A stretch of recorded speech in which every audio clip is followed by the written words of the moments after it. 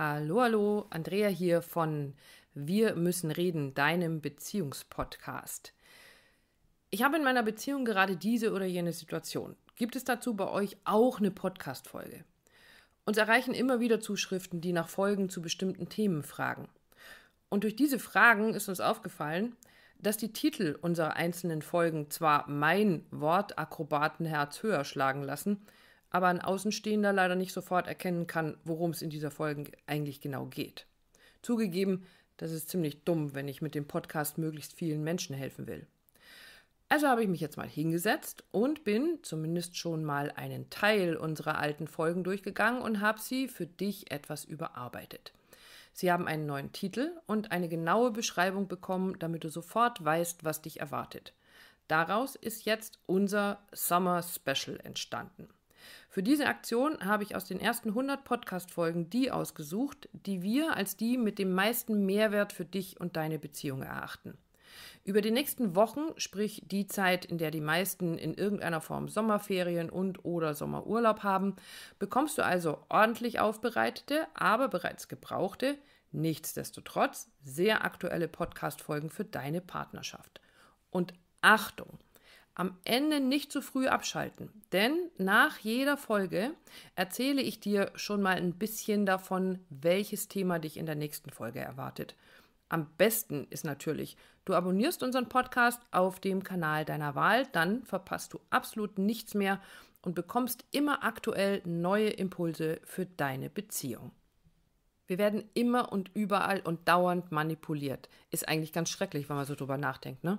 Also du kriegst in der Werbung ständig irgendwelche Dinge vor die Nase gehalten, von denen du dann glaubst, dass sie genau so sein müssten. Oder es verspricht dir in der Werbung jemand solche Dinge wie ähm, zehn Tipps, wie du deinen Ex zurückbekommst oder einen Ratgeber dafür, wie du jede Frau rumkriegst oder jeden Mann, äh, Datingportale, die irgendwie einen komischen doppelten Boden haben oder einfach nur verzögerte WhatsApp-Nachrichten, um dich rar und interessant und begehrlich zu machen. Hm.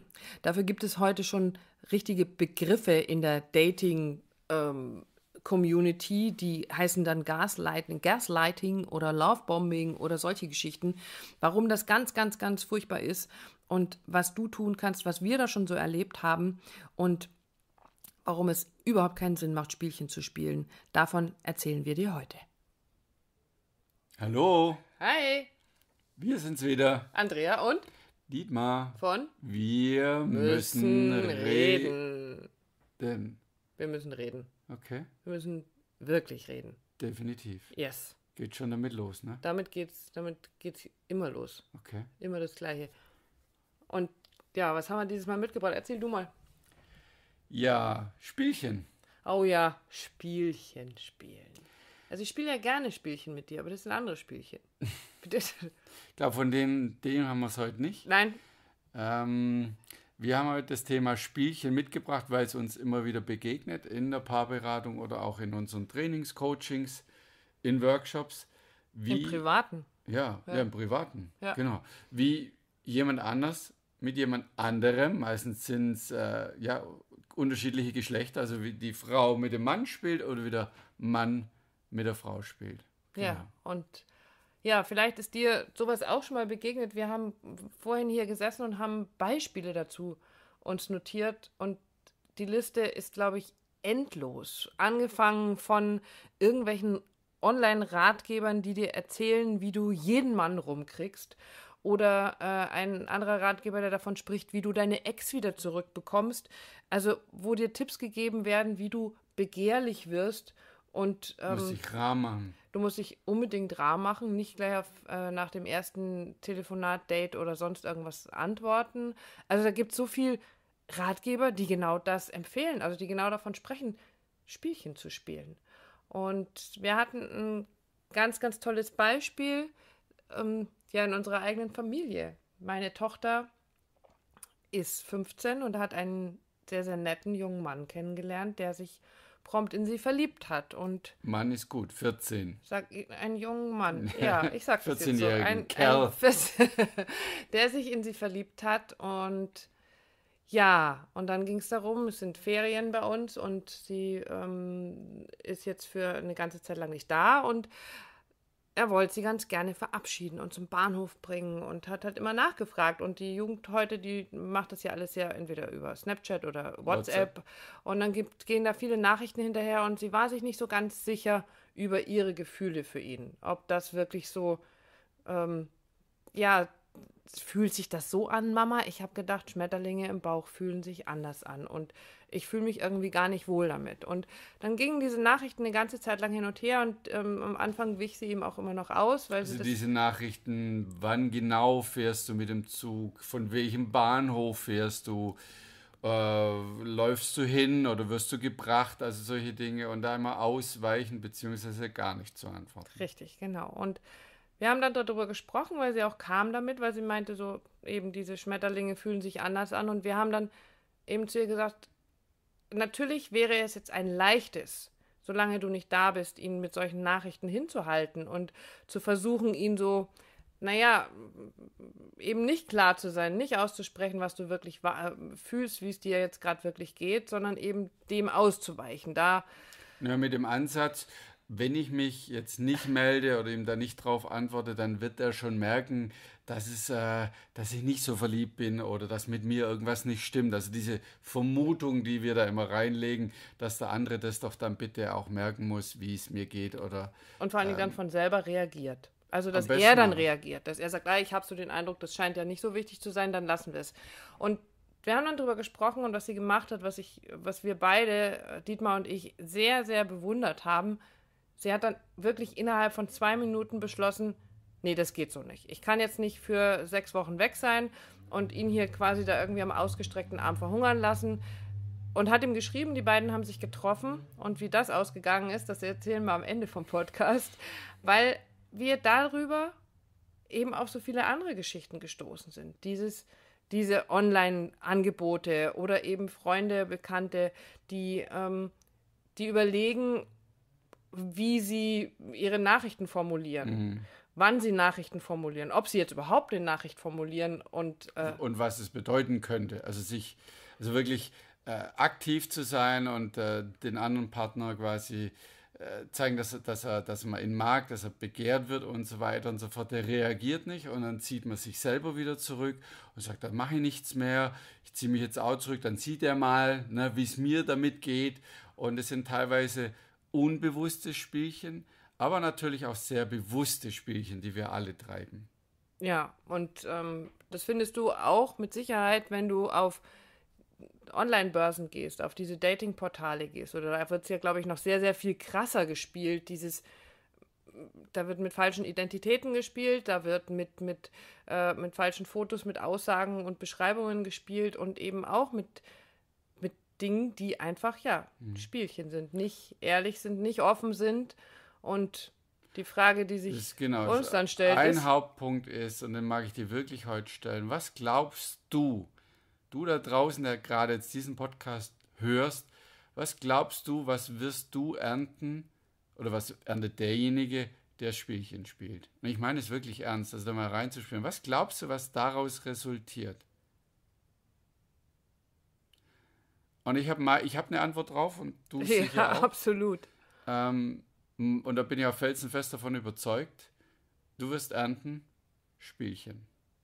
Das heißt, wenn du mit deinem Gegenüber spielst, ob bewusst oder unbewusst, wirst du Spielchen ernten. Und es ist natürlich die Frage, willst du das? Wir sagen, ja, kann man ja auch bewusst machen. Oder, also für was wir beide stehen, für eine wirklich ernsthafte und tiefe Beziehung, da gibt es keine Spielchen.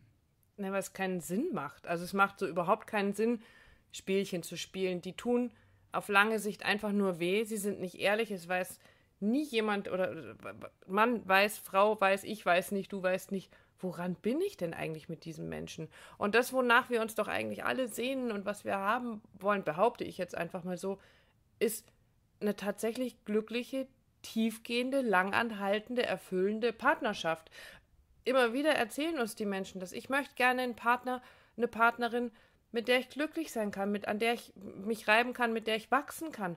Ja, aber was passiert denn, wenn ich, ja, eben nicht offen bin, wenn ich nicht klar bin und solche Spielchen spiele? Und das ist im Endeffekt, weil Dietmar gerade gesagt hat, dieses was wirst du ernten, wenn du Spielchen spielst? Du wirst Spielchen ernten.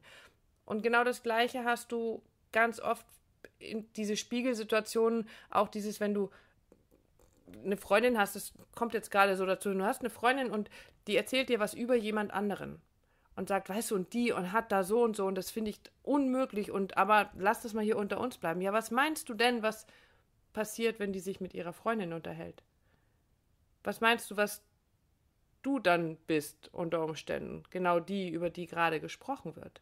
Und auch das sind Spielchen, also nicht nur in der Partnerschaft, sondern auch unter Freunden. Mhm. Und ich glaube auch, dass das ähm, ich überlege gerade, ob das sehr frauenlastig ist, solche Spielchen Nein. zu spielen. Mhm. Aber ich glaube, in mhm. dieser Beziehungsgeschichte und auf diesen Online-Geschichten, vielleicht hat es auch einfach damit was zu glaub, tun. Ich glaube, Männer tun es auch, sich auf eine andere Art und Weise, aber tun das genauso. Also, ja. Muss jetzt einmal die Männer nicht in Schutz nehmen, sondern die Männer auch in die Front schieben, im Sinne von, die tun das genauso. Sicher auf eine andere Art und Weise. Aber sie tun es. Ja, und die nächste Frage, die du dir stellen kannst, ist, was willst du denn wirklich?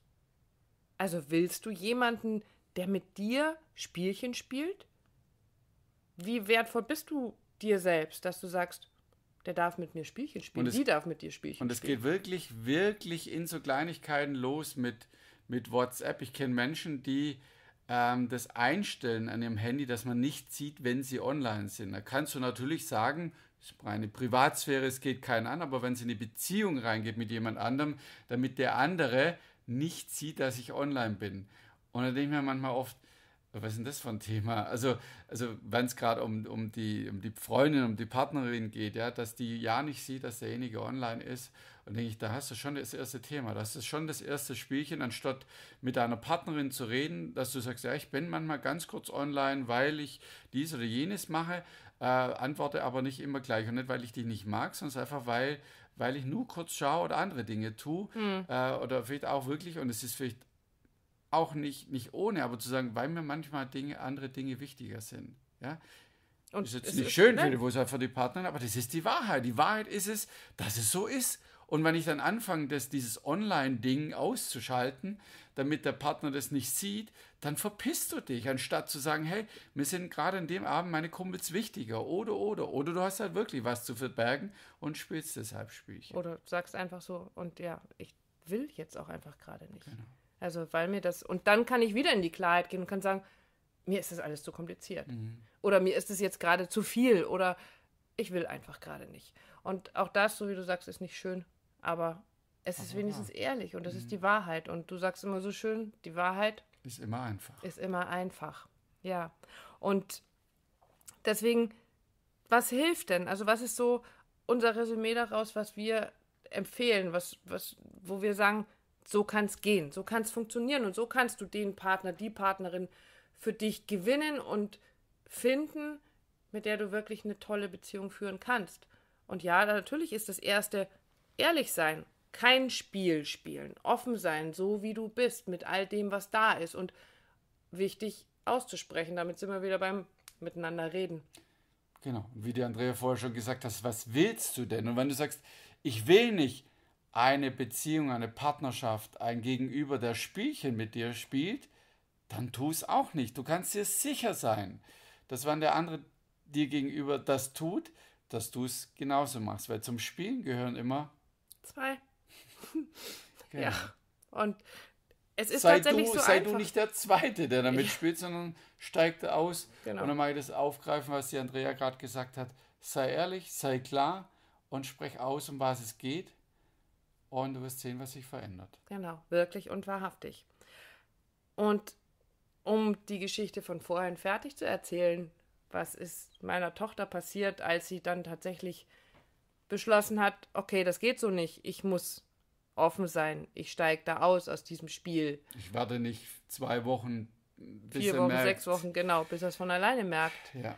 Ähm, ja, es hat sie getroffen, aber sie hat es tatsächlich ausgesprochen und sie ist ehrlich gewesen und hat mit ihm geredet und es kam nicht die Reaktion, ähm, vor der sie vielleicht Angst gehabt hat, diese, so bist eine blöde Kuh und mit dir will ich nichts mehr zu tun haben, sondern ganz im Gegenteil, da stand ein junger Kerl, wie du gerade gesagt hast, und hat letztendlich. Mit seinen 14 Jahren. ich mag das wirklich Jahr. erwähnen, weil ich mit 14 hätte ganz vermutlich, man weiß es ja nicht, anders reagiert. Genau. Und dieser junge Mann sagt zu meiner Tochter tatsächlich, dass er ihr dafür dankt, dass sie so ehrlich mit ihm ist und dass sie ihn nicht am ausgestreckten Arm hat verhungern lassen und er wünscht ihr, dass sie sich so irgendwann so richtig, richtig, richtig verliebt und der Junge, der sie irgendwann mal bekommt, der kann von Glück sagen, dass er ausgerechnet sie bekommen hat, weil sie so ein wunderbarer Mensch ist.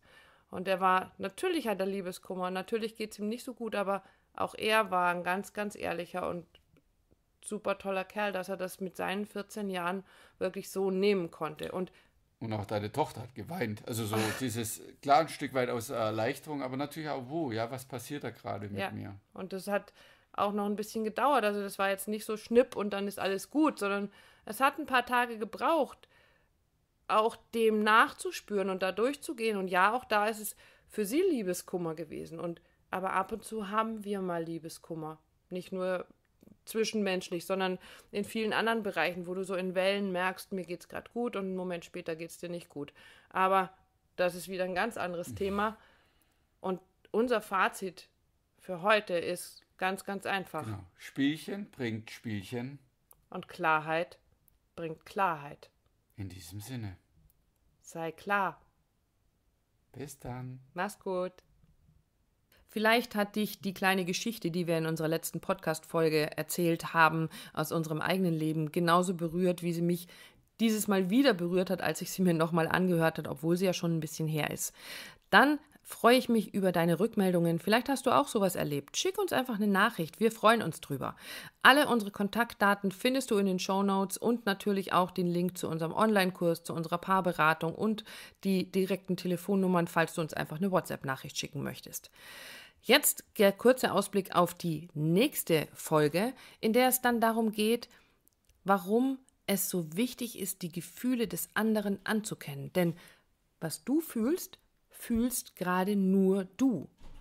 Aber dieses Gefühl ist niemals richtig oder falsch und es steht uns niemals zu, die Gefühle eines anderen irgendwie abzuschwächen, sie verändern zu wollen, sondern es geht darum, sie anzuerkennen. Und das ist eine der schwierigsten Übungen in einer Beziehung. Aber es ist machbar. Und wie genau das geht, das erzählen wir in der nächsten Folge.